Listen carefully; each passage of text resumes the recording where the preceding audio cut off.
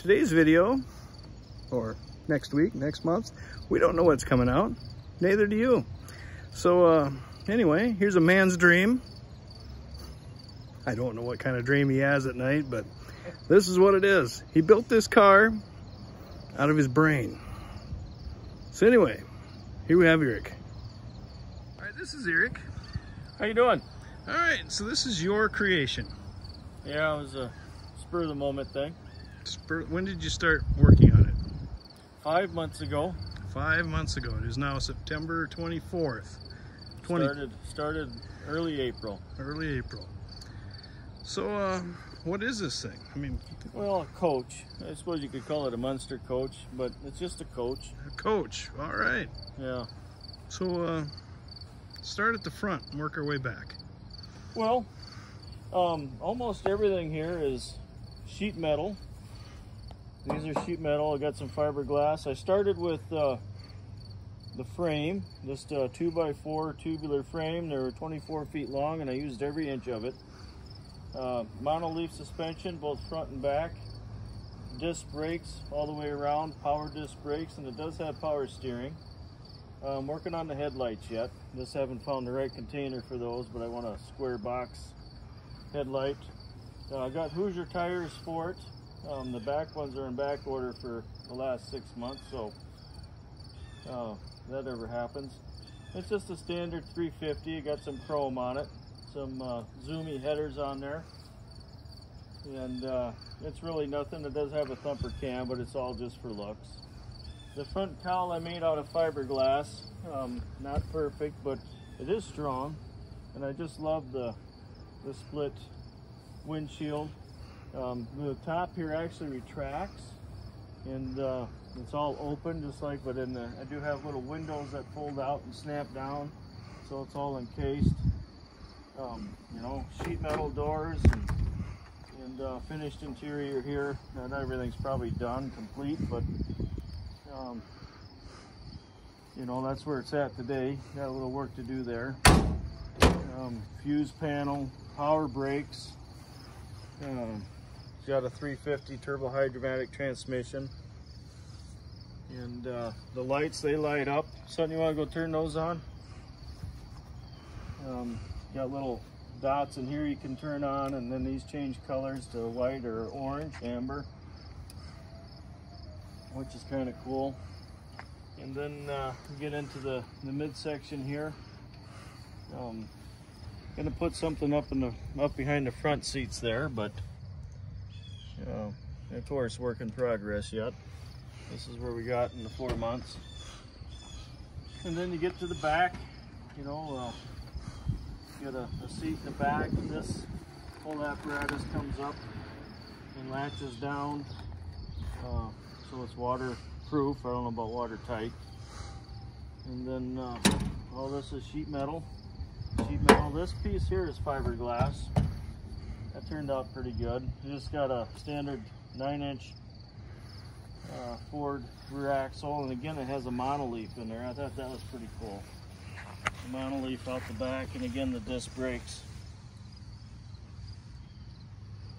And uh, it's got a 32 gallon fuel cell in it and the old uh, the old Roadster style tail lights. I actually got Hoosier rubber for the back, but you know they haven't showed up, so if they ever do, they're uh, 20 some inches wide, 15 inch wide rims to match. So, what color paint is this rear end? Well, that's that's a custom paint. It's got a lot of metallic flake in it. Obviously, it's just a standard gold uh, with two different types of flake in there. And during the day, in the bright sunlight, it actually doesn't show up real good, but towards dusk and this time of day, it actually starts to pop some color out, which looks pretty cool.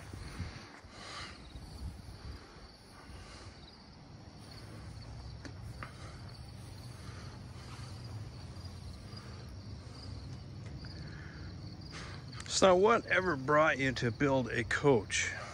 You know, everybody builds a Well, 32 Ford. You know, I got plenty of projects here I should be working on. I've got a, a 65 Buick Riviera Grand Sport, and it runs and had it at my wedding. I painted that car 25, 30 years ago. I should be working on that. And uh, my 56 Ford F100, which uh, blew up when I was going to kindergarten one day. It's been in the family for over 40 years.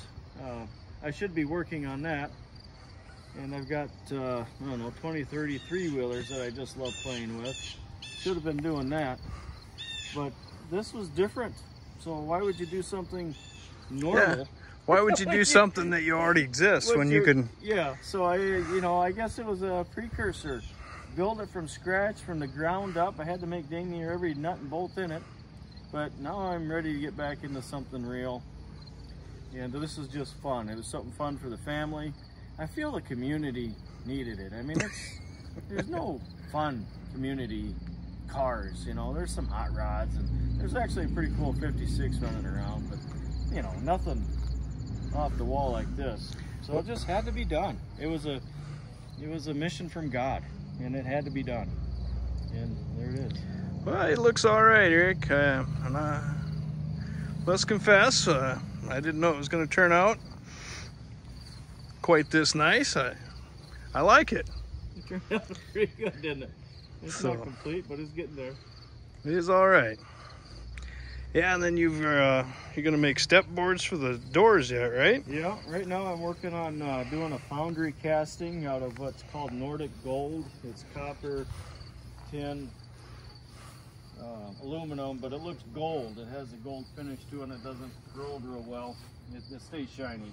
But I'd like to get a step plate made for the three doors or something's got to be done. It looks unfinished. So that's actually currently what I'm working on. That's a process. I've uh, done some casting and pouring of metal but uh, I'm having a little trouble getting this mold correct. So once we get that perfected, we'll make those and get those on. And that might be it for this year. Maybe a sound system. But uh, it's September. I'm hoping to get paperwork and everything done so we can roll her in, in October for Halloween and have some fun there. And that'll be this year on it. Yeah. What's the wheelbase on this thing? Well, center to center wheelbase, right at exactly 200 inches. 200 inches. The original Munster Koach in the show, TV show, is like 150, I have no idea. 153. So, It could be. so it is bigger. Could be. I know there's a good two feet sticking out in front of the front axle. and uh, I don't know, not much in the tail end. Didn't want it, but yeah, she's a big long. Yeah. Well, I, I appreciate your change of perspective. You know, everybody wants to build an original exact, but Yeah, you got to build something that's a little bit of you. this thing's full five feet, or five feet wide, 60 inches wide, just like a normal car. I didn't want to be scrunched in there, side Yeah. by side. It's comfortable. It was made to be comfortable. It's actually dimensioned off of our Cadillac Escalade, uh, where the seat is, the height, the steering wheel position, the pedal positions. So it was meant to be fun, enjoyable, drivable, and not scrunched hot rod style. Yeah, I agree.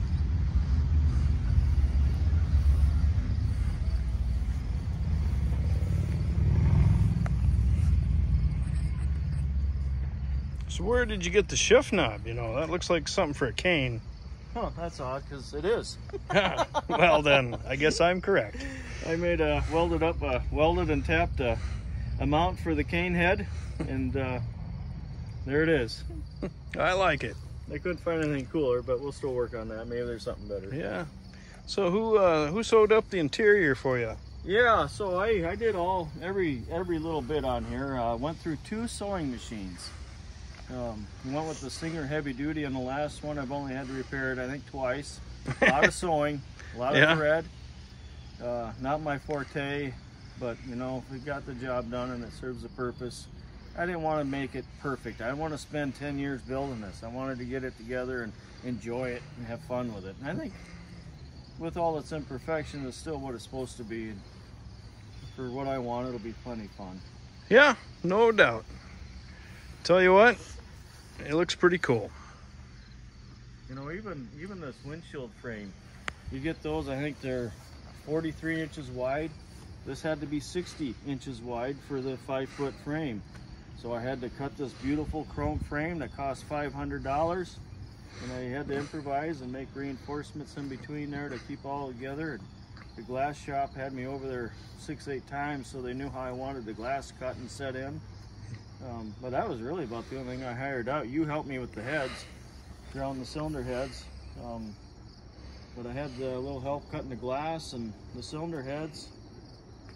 But I think that was the only thing I really farmed out. Otherwise, I got fingerprints on everything. No doubt. Well, I hope you uh, continue on finishing this project. Enjoy it. Don't let no trees grow up in it in the grove and No. keep on trucking. All the only trees I've had to cut are the ones growing through your project.